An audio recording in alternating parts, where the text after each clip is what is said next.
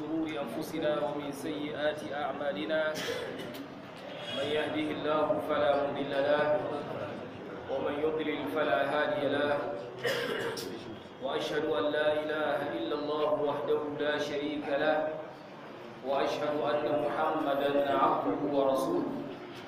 يا أيها الذين آمنوا اتقوا الله حق تقاته ولا تموتن إلا وأنتم مسلمون. يا أيها الناس اتقوا ربكم الذي خلقكم من نفس واحدة وخلق منها زوجها وبث منهما رجالا كثيرا ونساء. واتقوا الله الذي تساءلون به والأرحام. إن الله كان عليكم رقيبا. يا أيها الذين آمنوا اتقوا الله وقولوا قولا سديدا. يصلح لكم أعمالكم ويغفر لكم ذنوبكم. ومن يطع الله ورسوله فقد فاز فوزا عظيما ثم ما بعد السلام عليكم ورحمة الله وبركاته يومنا ɗaya watan sha'ban بعد هجرة النبي صلى الله عليه وسلم daga makka zuwa madina shekara 1442 in wata yana farko haka annabi sallallahu alaihi wasallam yana addu'a na ganin wata kamar da zuwa cikin sunan ad-darimi daga abdullahi ibn umar annabi sallallahu alaihi wasallam yana ce Allahu akbar اللهم أهله علينا بالأمن اللهم أهله علينا بالأمن والإيمان والسلامة والإسلام والتوفيق lima tuhibbu rabbuna wa tarda rabbuna wa rabbuka Allah lalle yana da muhimmanci a kowane wata ba wai sai sha'ban ko ramadan kowane wata addu'a da aminci Allahumma ahillahu alaina bil amni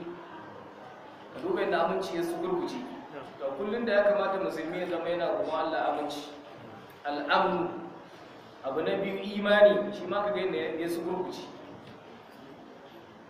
bil amni wal iman sai wassalama ku fita daga dukkan bala'i da musiba. Wal islami muna halin tabbato akan islam wa tawfiq. Sana abu na biyar kana roƙon Allah dace kuma duk abin da Allah yake so kuma yadda da shi. Rabbuna wa rabbuka Allah sannan wannan wata na sha'ban shine watan da manzon Allah sallallahu alaihi wasallam ya yawaita azumi a ciki kamar da Aisha radiyallahu anha take fada kamar da Usama ibn Zaid yake fada da sahabbai da yawa suka ce Annabi sallallahu alaihi wasallam ya fi yawaita azumi a wannan wata na sha'ban. Kai Aisha ma take cewa yana azumta watan gaba ɗaya sai kadan to kadan kaka ce biyu uku huɗu biyar kadan ke. Mana zai azumi kamar ashirin da wani abu. Lalle mu daura damara kwaikwayo da manzan Allah sallallahu alaihi wasallam wajen yawaita azumi a cikin watan Sha'ban. sannan har zuwa can tsakiyar sha'ban Allah yana gafarta wa bayan shi sai dai wanda yake yake shirka ko kuma wanda yake gaba da wani lailatul nisfi min sha'ban. Wanda za mu sake tambayi sati mai zuwa akwai littafi musamman da aka rubuta husnul bayan fi ma warada fi lailatul nisfi min sha'ban. Ɗaya daga cikin manyan ɗaliban Muhammad Nasiruddin Albani mashhur bin Hassan Ali Salman. Ya littafi takaitacce akan lailatul nisfi min sha'ban. To ga kake nan mai ƙoƙari mu sulhunta da duk wanda ka san kake gaba da shi. Kafin wannan lokaci yau dai muna ɗaya kaga nan da kwanaki goma sha uku zuwa sha huɗu to sannan daren tsakiya ya kai an ce sha huɗu ko sha biyar kuma baka fara azumi ko kaɗan ba to abu hurairah yake cewa annabi sallallahu alaihi wasallam ce idan tasafa sha'ban fala tasumu. In dai sha'ban ya kai tsakiya to kar ku yi azumi. Mana ga wanda lam takul lahu ada to wanda ba shi da wani azumin da yake sai da sha'ban ya kai goma sha biyar sai ce zai fara. Annabi sallallahu alaihi wasallam ya ce dakata. Amma wanda ya saba babu laifi ko ana cewa gobe ramadan ne to babu laifi za ka iya azumin ka shi ne sallallahu alaihi wasallam yake cewa cikin hadisin Abu Huraira Bukhari da Muslim suka rawaito la taqaddamu ramadana bi sawmi yawmin aw yawmayn kar ku yi tarar ramadana da azumin kwana ɗaya ko kwana biyu ce illa rajulun sai dai dama mutumin da ya saba azumi to ya azumci azumi ko da ana cewa yau 29 ne to babu laifi ka yi azumi kamar litinin ke maybe litinin ta ɗaya kenan litinin ta biyu ta uku ta huɗu litinin ta biyar zai yana zama 29 don ka saba kana litinin litinin ko an ce 29 ne babu laifi kai illa rajulun kana yasumu sawman falyasum wallahi mai gima da muka datar da mun fi duniya wal akhirah اللهم احسن عاقبتنا في الامور كلها واجرنا من خزي الدنيا وعذاب الاخره عشان تلخيص احكام الجنائز daga za mu tashi nukta ta bakwai ke. As-salatu ila daga cikin abubuwan da aka hana a yi a makabarta shine mutum yayi sallah yana kallon kaburruka. Lil hadith al-mutaqaddim alifan saboda hadithin Abu Marzan da ya gabata Annabi sallallahu alaihi wasallam ce la tusallu ila al-qubur. Kada ku yi sallah kuna kallon kaburruka. Kuma wala tajlisu alaiha kada ku zauna kan kaburka wa fihi dalilun ala tahrimi salati ila alqabr. Ce hadisin yana nuna maka haramcin yin sallah kana fuskantar kabari. Li zahirin nahi saboda hanin da annabi sallallahu alaihi wasallam a bayyane yake ya ce la tusallu sannan al-aslu fi an-nahi yaqtadi at-tahrim wa huwa ikhtiyaru an-nawawi wannan shine abin da imamu an-nawawi ya zaba. فقال المناوي في فيض القدير الإمام المناوي هنا فتح cikin فيض القدير شرح وللتابع جنا جامع الصغير شارحا للحديث yana sharhin mai hadisin yake nufi yana cewa ai mustaqbilina ilaiha kada ku yi sallah kuna fuskantar kaburuka lima fihi min at-ta'zim al-baligh domin akwai girmama kaburukan li'annahu min martabati al-ma'budi لأنه من مرتبة المعبود. فجمع يعني الحديث بتمامه بين النهي عن الاستخفاف بالتعظيم والتعظيم البليغ. لأنه من مرتبة المعبود. دومينا daga cikin daukaka abin bauta yana daga cikin daukaka abin bauta in kasance an fuskanci abu فجمع يعني في الحديث يا حديث يهنا منا بتمام إن تتر حديث قبالا النهي عن الاستخفاف بالتعظيم والتعظيم البليغ. حديث يهنا منا هني النهي عن الاستخفاف. أتوكي أبو سبو سبو ورشن جرم ماوا. yanzu wala tajlisu alaiha kaga mutum yazo ya zauna ya nuna kabarin bashi da bashi da daraja ke sannan wata azimil bali sannan kuma da hani akan girmamawa wanda yake ya kai shine ce la tusallu ila alqubur idan mutum yana sallah yana fuskantar kaburuka akwai girmamawa gurin. In mutum ya zauna kuma ya wulaƙanta. Thumma qala fi mawdin akhar fa inna dhalika makruhun. Ce wannan abin kyama ne. Fa in qasada insanun at-tabarruka fi as-salati ila fi tilka al-buqa idan mutum ya yi nufin ya je ya salla ne a wurin da yake akwai kabari to faqad ibtada'a fi ad-din ya kirkiro bidiya addini. Kuma malam ya adam bihi Allah abin da Allah bai yi izini yayi ba. Annabi sallallahu alaihi kuma ya hana. Wal muradu karahati at-tanzih amma abin da ake nufi shine karaha na tanzihi ana mutum ya kuɓutar da kanshi barin fadawa abin da Allah ya hana. Qala an-nawawi kaza qala ashabuna. Shi haka nan mutane malaman shafiya suke faɗa cewa karahatu tanzi. Amma ce walau qila bi tahrimihi kai inda ma za ce haramun ne li zahiril hadith saboda zahirin wannan hadisi la tusallu ila al-qubur lam yab'ud. Ba zai zama ya nisa ba. Wa yu'khadhu min al-hadith. Sannan abu na biyu hadisin yana nuna mana annahyu anis salati fil maqbarati. Hani akan sallah cikin makabarta. Wa huwa makruhun karahata tahrim shi wannan abin kyama ne kuma karhanci na haramci ma'ana yana da tsanani sosai. Wa yanbaghi an yu'lama innama huwa idha lam yaqsud bil istiqbal ta'zim al qubur in an ce makaruhi ne to idan ya zama manufar shi ba wai yana so ya girmama kaburukan ba ne. wa illa amma yana so ya girmama kaburukan ne fa huwa shirkun anan mutum ya yi shirka kuma a kullum annabi sallallahu alaihi wasallam karantar da mu du'a al-khawf min ash-shirk اللهم إني أعوذ بك أن أشرك بك وأنا أعلم وأستغفرك لما لا أعلم قال الشيخ علي القاري في المرقاة في شرحه لهذا الحديث walau kana hadha ta'zimu haqiqatan lil to idan mutum yayi sallah yana kallon kabari sai zama shi wanda yake sallan yana nufin girmama wanda yake cikin kabari ne in law kana hadha ta'zim haqiqatan lil qabr yana girmama kabarin wa li sahibihi ko yana girmama wanda yake cikin kabarin ya ce la kafara al mu'azzim to shi wanda yake girmamawa zai iya kafirta to fattashabbu bihi makruhun. To kuma ka ce kai kamancecciye da shi wannan abin kyama ne. Wa yanbaghi an yakuna karahatan tahrim. Ce ma ya dace ma a ce wannan karhanci ne na haramci. Sai upgrading din shi zama haramun. Wa fi ma'anahu bal aula minhu. Ko kuma ya zama yana daidai da ma'anan haramci.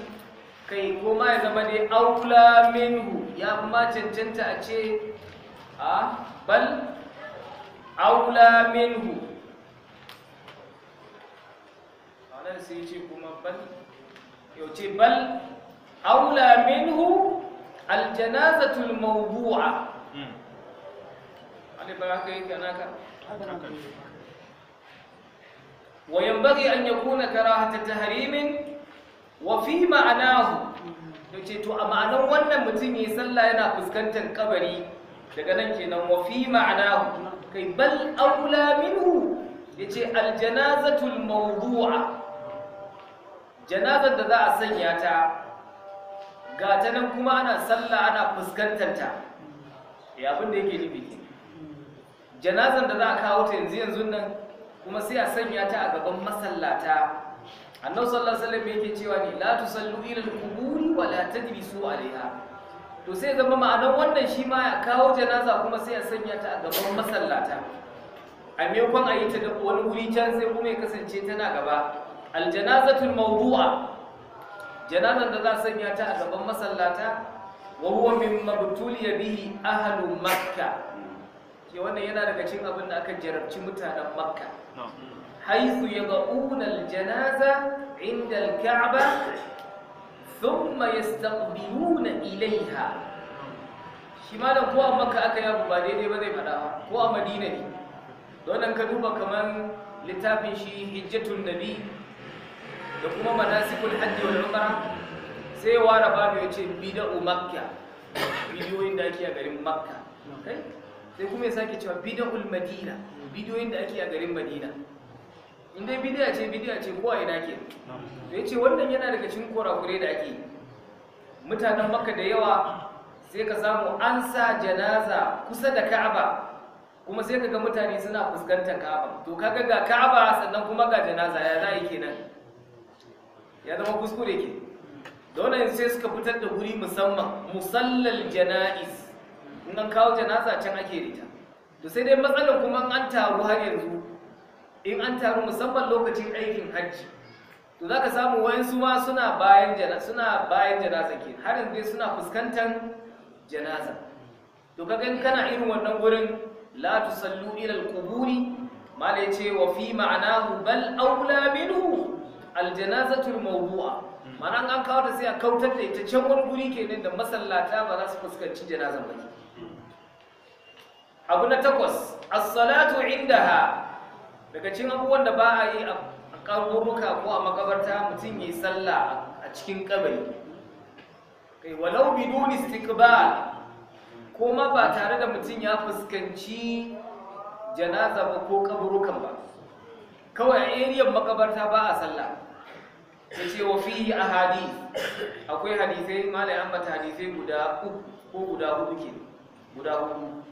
الحديث الأول عن أبي سعيد الخدري shine sa'ad ibn malik ibn sinan shi sahabi ne baban shi ma sahabi radiyallahu anhuma qala qala rasulullahi sallallahu alaihi wasallam al-ardu kulluha masjidun kasa gaba ɗaya ko ina masallaci ne illa al-maqbara sai dai makabarta makabarta ba gurin sallah bane wal hammam hammam yana daukan gurin wanka to gurin wanka ba gurin sallah ba ne.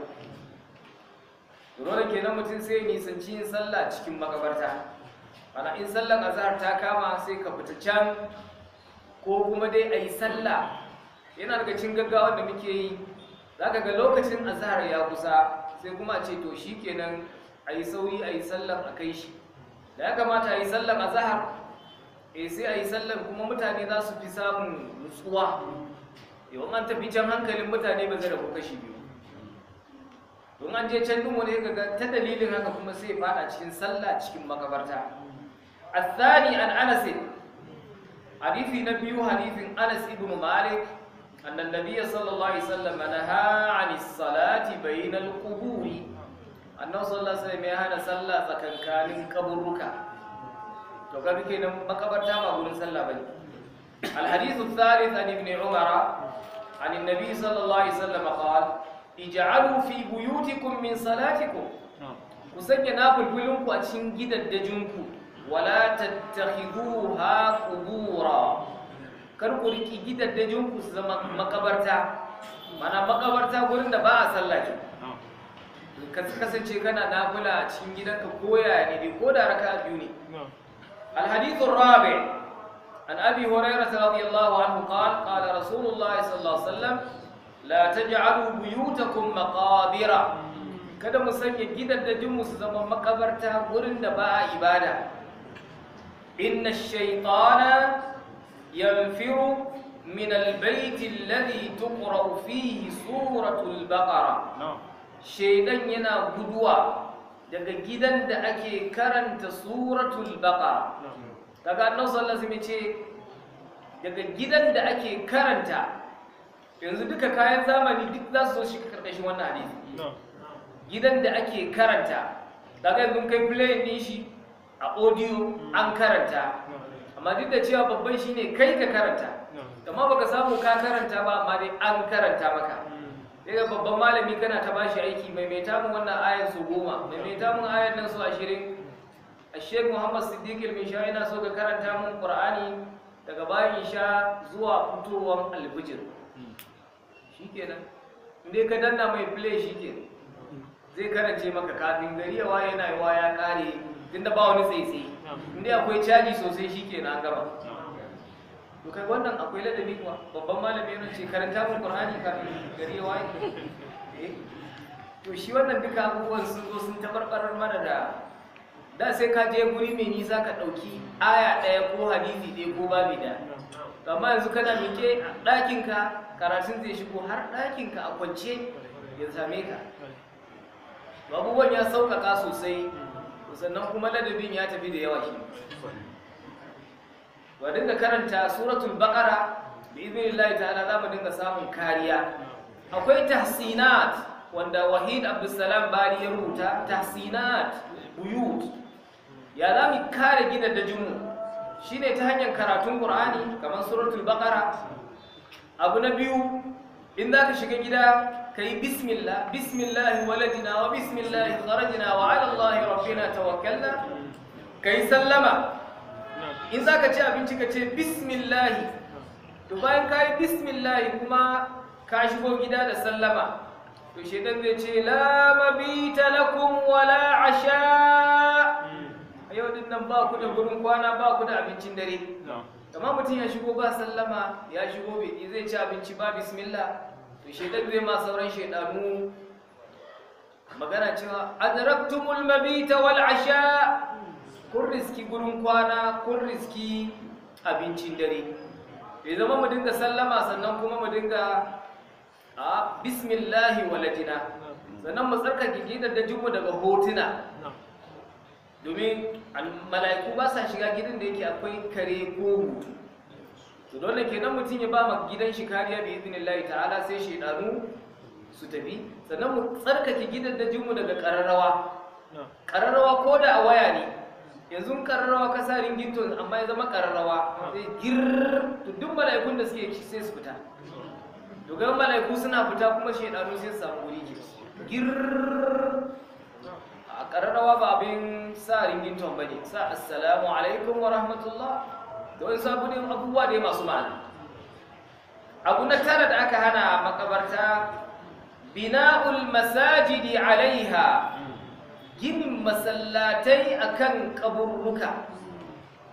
Shi ma albani rahimahullah ya yi littafi musamman tahbiru sajid min ittikhadil quburi masajid. Tahbiru sajid tsoratar da mai sujjada min ittikhadil quburi masajid mutum ya riki makabarta ko kaburuka su kasance su ne gurin sujjadar shi littafi ne su mutum kuma ne cewa fi ahadith adhkuru ba'daha malai ce akwai hadisai da yawa to amma zai ambata maka waɗansu daga ciki yau in kana son cikakkun kenan sai ka koma ina sai ka koma cikin tahdhirus sajid min ittikhadil quburi masajid ne ce al-awwal hadisin farko an aishata radiyallahu anha ce daga aisha radiyallahu anha ita ce ummul mu'minin as-siddiqa bintu siddiq habibatu habibillah wa abdullahi ibn abbas da abdullahi ibn abbas ma'ana su biyu kenan ma'an qala. Da aisha da abdullahi ibn abbas suke cewa lamma nazala bi rasulillah sallallahu alaihi wasallam. Lokacin da rasuwa ya zo manzan Allah sallallahu alaihi wasallam yana cikin rashin lafiya. Tafiqa yani ja'ala sai ya kasance ya qarahu khamisatan lahu ala wajhihi.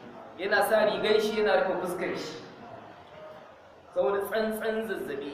Zazzabin shi kaman ana dora mai na mutane biyu ne. Fa idza tamma biha idan ya lullube in ya lullube fuskar shi kashafaha an wajhihi mana an yi sa rigan a jikin fuskan shi ya lullube sai ya cire tufafi.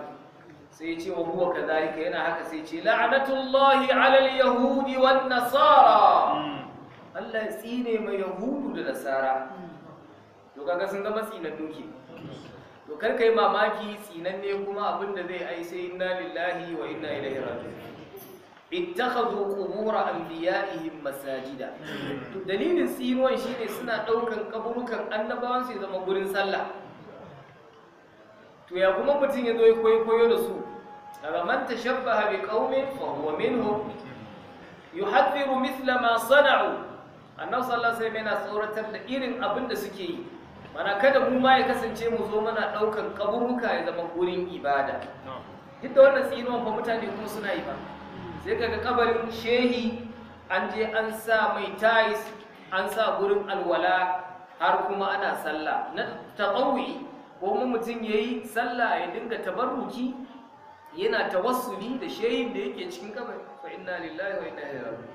Qalat fi riwaya a wata riwaya Aisha radiyallahu anha take cewa falawla dhaka inda ba dan haka ba kar a ɗauki kabarin Annabi sallallahu alaihi zama gurin ibada ubariza qabruhu.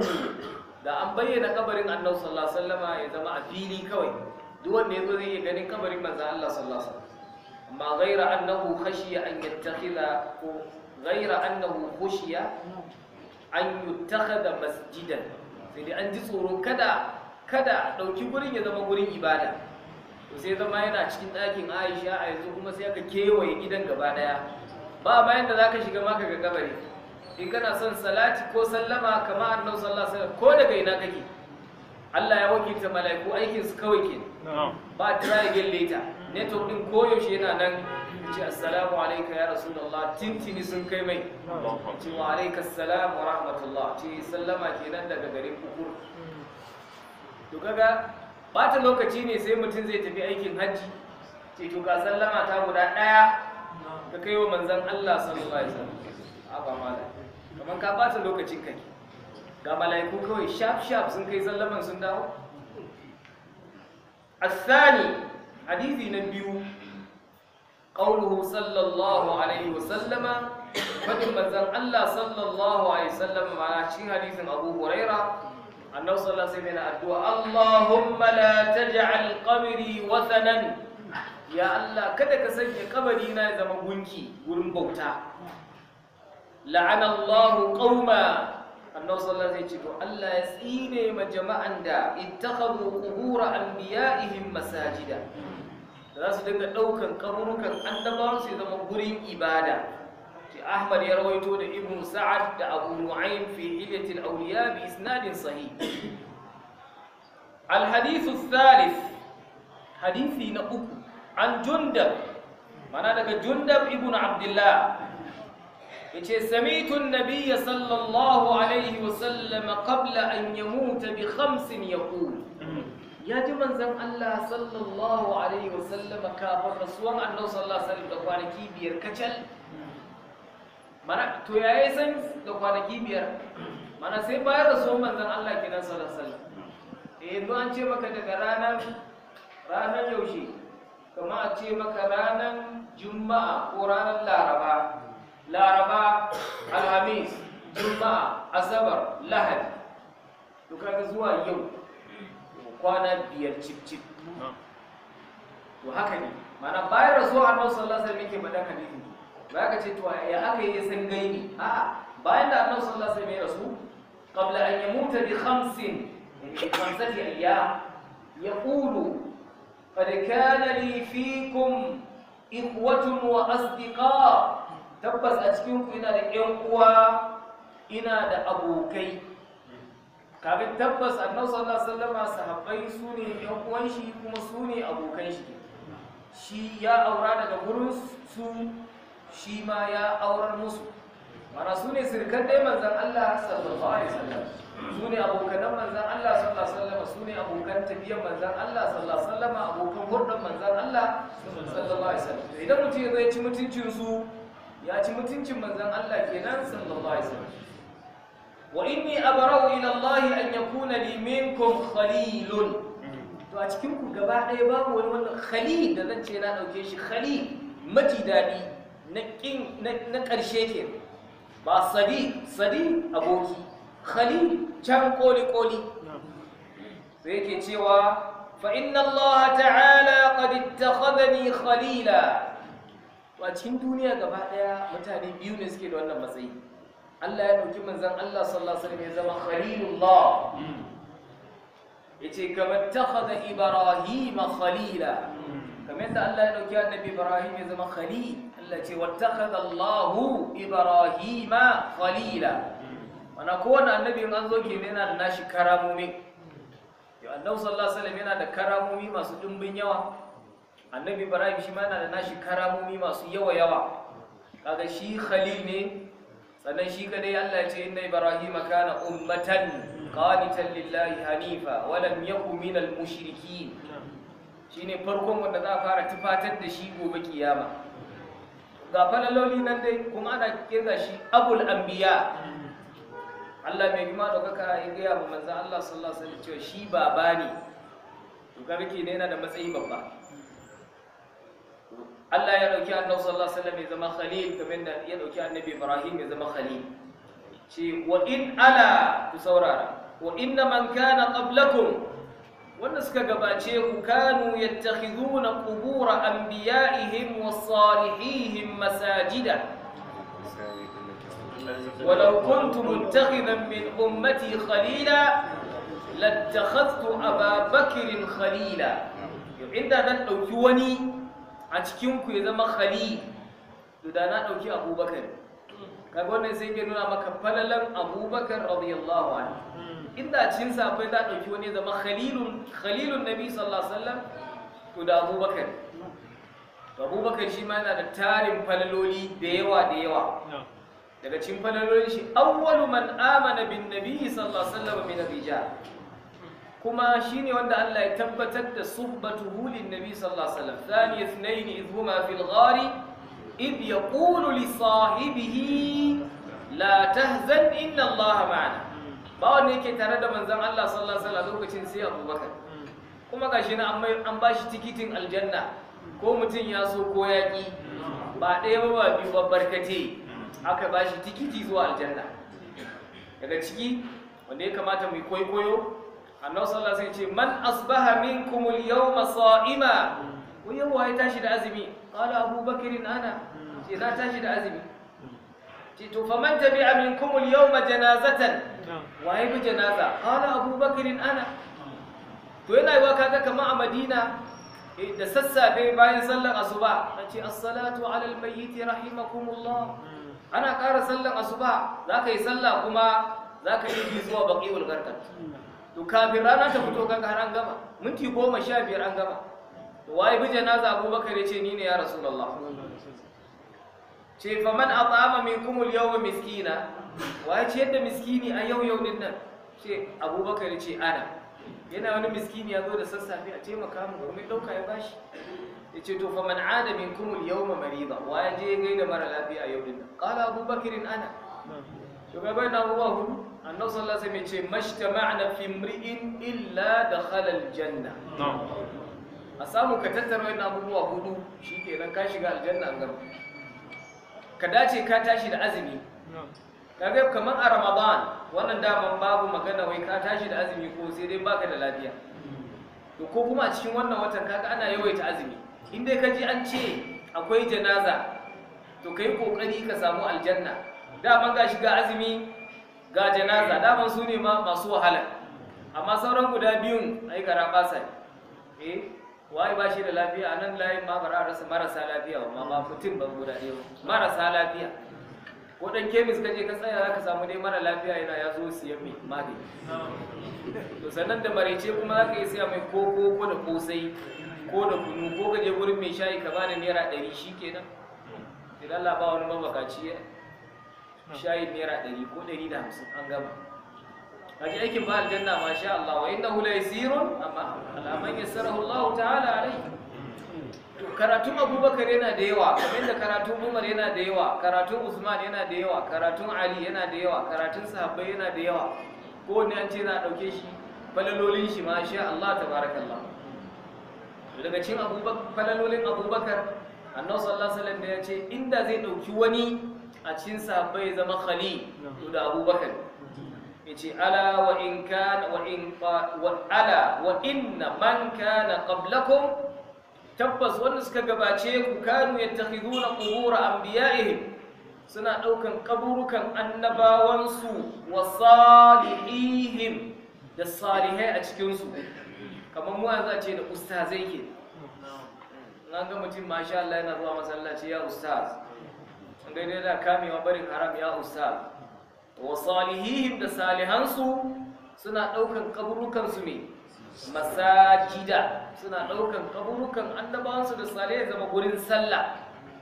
Ala na sallah sai ce fala tattakhidul qubura masajida. Kar ku kuskura ku ɗauki makabarta ko kaburuka su kasance gurin sallah. Don dai kabari ne sai zama kuma kabarin na kafare ne. To malam zai zo ya gaya mana ƙarshe ya halatta a tona makabartar nan gaba ɗaya a yi flat ɗin shi to shi kenan babu laifi za a yi gina masallaci.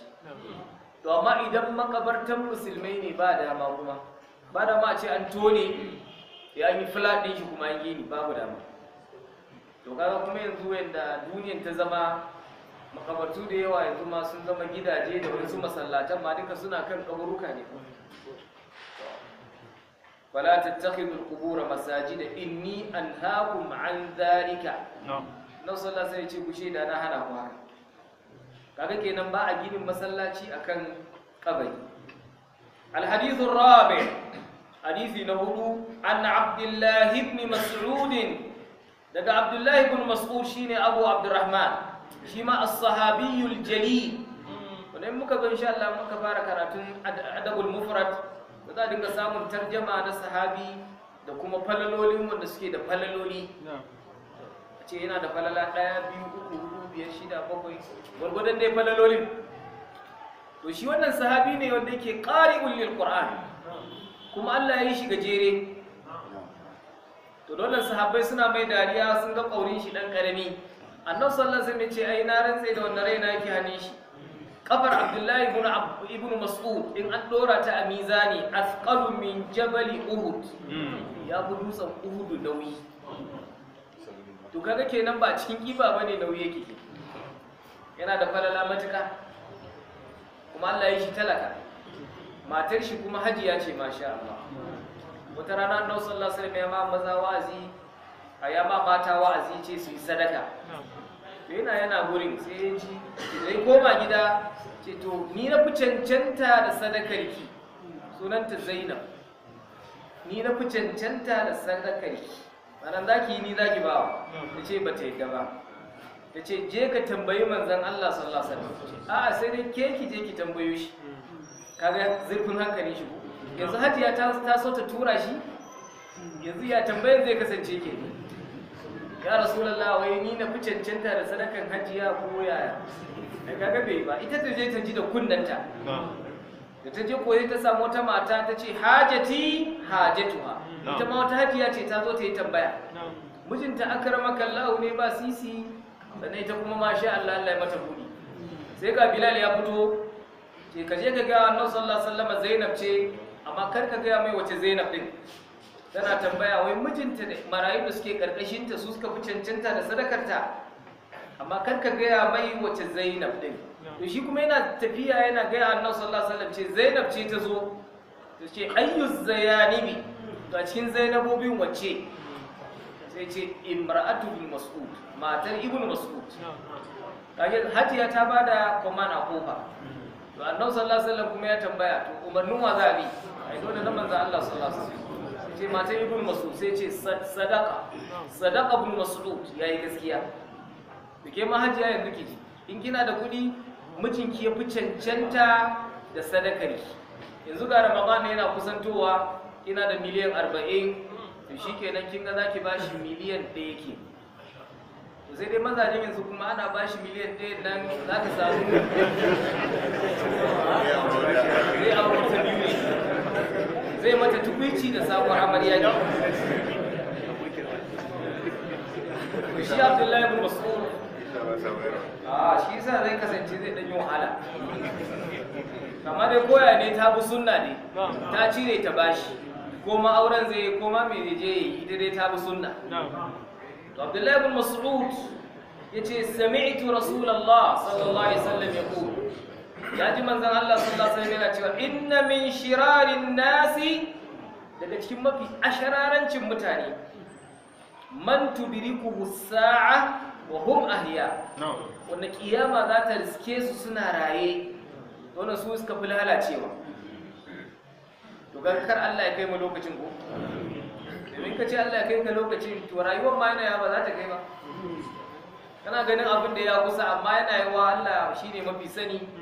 Za a yi cewa shekara 100 200 300 ka duba dai da turo annabi sallallahu alaihi wasallam isu ana wasa'a ka hatai amma yanzu dai alamun da suna nan kaga dan taki ne kadan amma dai kaga shekara 1000 da 400 to yana cika shekara 2000 shekara 3000 kafin a ce kiyama ta tashi.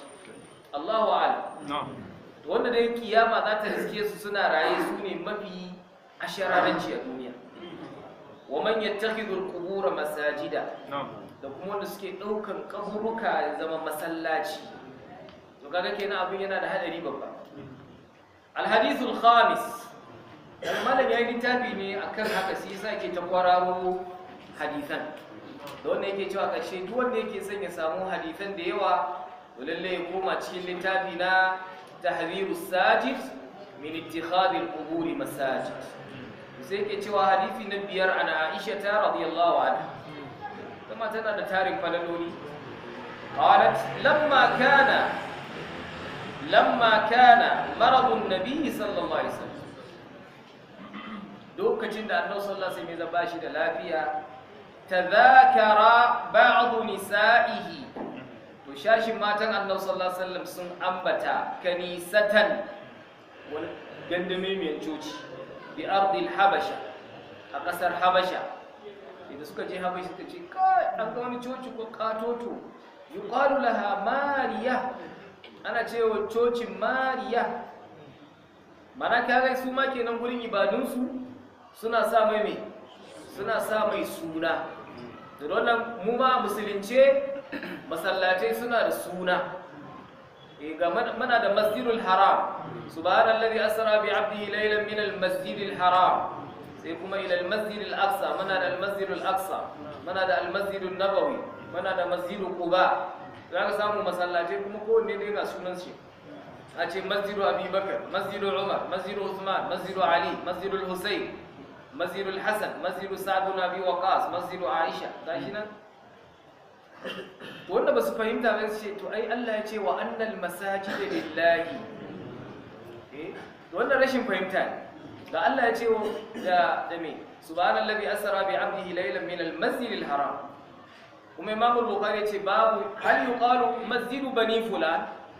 Ce babu laifi a ce masjidu bani fulan. Kamar nan yanzu ana ce mai masallacin masallacin babatan. Da ba wai an ce masallacin shine nashi ne a masallacin Allah ne amma dai suna ne kawai aka sami to babu laifi. Wa qad kanat ummu salama to hakika ita ummu salama wa ummu habiba ita ummu habiba ita ummu salama ita cewa hindu binti abi umayya ita kuma ummu habiba ita cewa ramla binti abi sufyan yar abu sufyan mana kenan yanzu abu sufyan sirikin waye sirikin manzon Allah ne sallallahu alaihi wasallam shi kuma muawiya dan uwanta ne to sai zama kenan ita ummul mu'minina ne shi kuma muawiya ya zama khalul mu'minin. Khal amma na mu'mine kawai. Wanda ke ba mumini ba ne to shi ba khali ba khali ba ne gare shi. In an ce khali shi ne wa da hausa? Kawun mumini in kai mumini ne shi kawun kai to kuma kana da respect dole ka girmama shi. To su biyun nan atata ardal habasha. Sun taba zuwa kasan habasha lokacin da aka hijira. Fa zakarna min husniha. Ce kai cocin nan ta tsaro wa tasawiriha sannan kuma suke kawai akwai hotuna da yawa.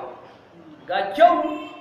Sannan kuma ga hotuna barkace faƙalar nabi sallallahu alaihi wasallam. Sallallahu alaihi ce inna ula'ika to wayancan mutanen da kuka gansu idza kana fihim ar-rajul salih sai zama ga wani salihi na gari a cikin su famata. Sai lokacin shi yayi rasu banau ala qabrihi masjidan.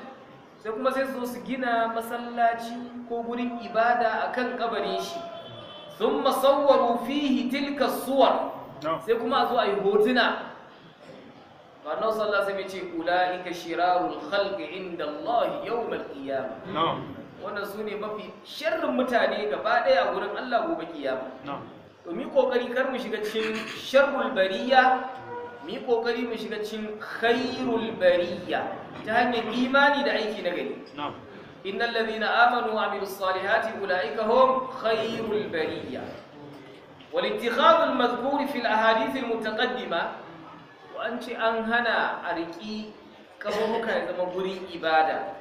To yashmalu iddata umur ya shafi abubuwa da dama ne. Al'amarin farko as-salatu ila al-qubur mustaqbilan laha. A ce mutum yana sallah yana fuskantar kaburuka. Musamman da gidansu yake eriyan kaburuka kenan sai sun yi hatara na biyu as-sujud ala al-qabr ala al-qubur. A ce kuma har mutum zai sujjada akan kabari inna lillahi wa inna ilaihi ya ya shiga cin hadisi. As-salis na uku zai ce bina'ul masajidi alaiha. A zo ma a gina masallaci gaba ɗaya akan kabari wannan shi ma haramun. Wal ma'na thani zahirun min al ittikhad ce ma'ana na biyu kuma shi zahiri ne za mu ɗauke shi daga cin an hana la tattakhidhu la tattakhidhu wal akharani to sannan na biyun kuma kaga ce al thani والاتخاذ المذكور في الأحاديث المتقدمة يشمل عدة أمور. الأول الصلاة إلى القبور مستقبلا لها. والثاني السجود على القبور. فشين يتي والمعنى الثاني؟ معنى نبيو دي أنبتا أنا ظاهر من الاتخاذ. شما يا شيغا تكمي عليكي قبرك قرين إبادة. والآخران سوبيون كما dukhulihi ma fihi e duka sun shiga dai cikin ma'anar me? Daukan kaburuka ya zama gurin ibada. Te faqad ja'a an-nassu alaihima. Shi wancan kai sallah ko kai gini wannan nassi karar ya zo fi ba'd al-ahadith mutaqaddima malai ce wa fassaltu al-qawla fi dhalika. To malam yayi tafsiri yayi bayani shimfidadde me yawa yawa. Wa awrattu aqwal al-ulama.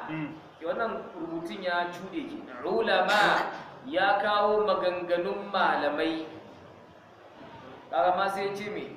Sai aka sa shi umala ba umala ba ulama. Ya kawo maganganun malamai mustashidan biha kuma yana kafa dalilai da wayannan hadisai da maganganun malaman. Yace fi kitabin al-khas. Yawa littafin da muke ta faɗa tun da a littafin da malam yayi musamman mai suna tahdhiru sajid min ittikhadhi al-quburi masajid. Tsoratar da mai sujjada dangane da rikon kaburuka ya zama gurin sujjada gurin ibada. Wa zakartu fi tarihi idkhal al-qabr an-nabawi fi al-masjid al-sharif. Kuma can ya faɗi yaushe ne aka shigar da kabarin manzon Allah sallallahu alaihi wasallam ne aka shigar da shi masallaci.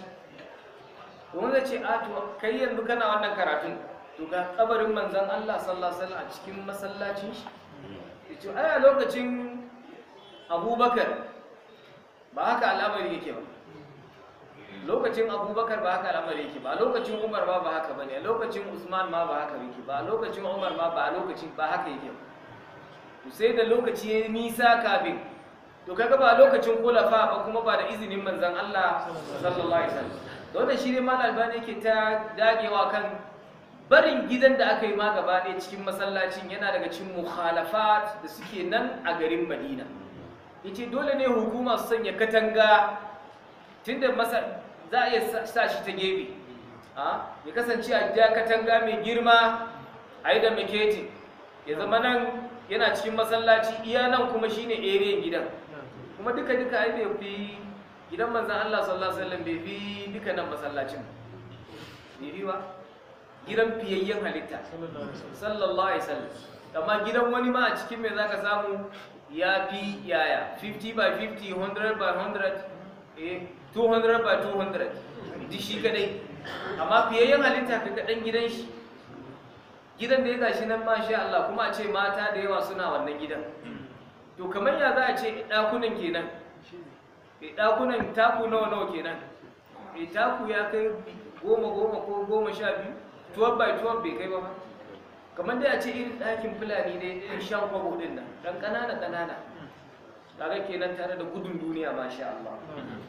Kuma da ya ce ya kawo maganganun yaushe aka fara shigar da kabarin manzon Allah sallallahu alaihi wasallama ko gidan gaba ɗaya cikin masallaci.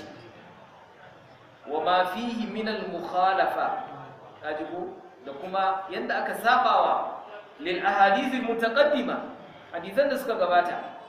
Wa anna salata ma'a dhalika kama duk da haka kuma la tukrahu fihi. Baraka ce to shikenan yanzu masallacin manzan Allah sallallahu alaihi wasallam ma makaruhi ne kai sallah ciki ba. Eh la tukrahu fihi khassa. Yace fa man sha'a basqa alqawli fi dhalika kullihi inda kana son magana a shimfide to falyarji ilayhi. Yanzu mafita daga wannan. Kar ya kasance kai duk lokacin sallar ka yawa ce kana bayan gidan manzan Allah sallallahu alaihi wasallam. Ya kasance kana fuskantar gidan. Wansu kuma ka samu aikinsu kenan gurin sallar su kenan diman da'iman. Za ka samu in ma an fara sallah to bari ya sallah wani guri ba sai ya zo gurin shi ba. To kaga wannan ya zama mukhalafa. A maimakon haka tafi sahun farko mana? Kaga shikenan ka kauce ma gidan manzon Allah sallallahu alaihi wasallam. Ko ka zaurau ba mana? Eh duka kaga ka kauce bi idinillahi ta'ala. Wannan nukta ta tara ke za mu tashi a matsala ta goma. Insha Allah zai zama kenan muka riƙe wuta zai zama kafin sha'aban ya kare insha Allah karatu biyu zuwa uku. Insha Allah mun kare littafin ki bi idnillahi ta'ala. Allah mai gima da kuka amfana da mu. Saboda kada bayani kamar masu da suke fatan cewa ya yi kamar an gina wurin masallaci haka kabari sai su kawo misalin kabarin manzon Allah sallallahu cewa shi ma ai kabarinsa yana masallaci. Ne yau to ai shine yanzu abin da ya kamata mu sani shi kabarin annabi sallallahu alaihi wasallam ba wai ba wai an yau masallaci daban sannan kuma kabarin daban. Sannan kuma shi ba a cikin masallaci ne aka binne shi ba. An binne shi ne yana a ɗakin Aisha. To tafiya ta yi tafiya da ana expanding din masallacin manzon Allah sallallahu alaihi wasallama sai gidan gaba ɗaya shigo cikin masallaci ta wata magana mai nuniya eh fa ajaba alamin ba wa hadahu da bisalasatul generali da wannan kenan zama dangane da shigar kabarin manzan Allah sallallahu alaihi wasallama cikin masallaci shi wannan babu babu dalili ko na nesa ko na kusa dangane da a ce a shigar da kabari a cikin wani masallaci daga cikin masallaci. Annabi sallallahu alaihi wasallam ya hana. Wannan yana daga cikin ibtila'i da kuma Allah mai gima ɗaukaka ya ma al'umman manzan Allah sallallahu alaihi wasallama amma malamai suna ta kokarin fadakarwa akan haka Allah mai gima daukaka ya datar da mu fi duniya wal akhirah Allah mai gima daukaka muke roƙo ya yalwata mana ya mana albarkacin abin da ya bamu Allah mai gima daukaka ya yi mana damoyin mu Allah ya bamu aminci fi duniya wal akhirah اللهم اغفر لنا من خشيتك ما تحول به بيننا وبين معصيك ومن طاعتك ما تبلغنا به جنتك ومن اليقين ما تهون به علينا مصائب الدنيا ومتينا بأسماعنا وصائنا وقوتنا ما أهتنا واجعله الوارث منا. واجعل ثارنا على من ظلمنا وانصرنا على من عادانا. ولا تجعل مصيبتنا في ديننا ولا تجعل الدنيا أكبر همنا ولا مبلغ علمنا ولا تسلط علينا من لا يرحمنا. اللهم لا سهل إلا ما جعلته سهلا وأنت تجعل الحزن إذا شئت سهلا. وآخر دعوانا الحمد لله رب العالمين. والسلام عليكم.